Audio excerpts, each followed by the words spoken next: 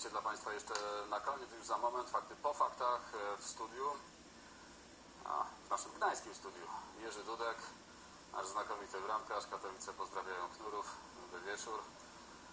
A to za moment Jerzy Owsiak i Jacek Santorski. W drugiej części programu zapraszamy w imieniu Justyny Pochanka, w kropce na D o 20 Monika Olejnik e, i Wojciech Szczęsny. Mm, silna reprezentacja bramkarska dzisiaj.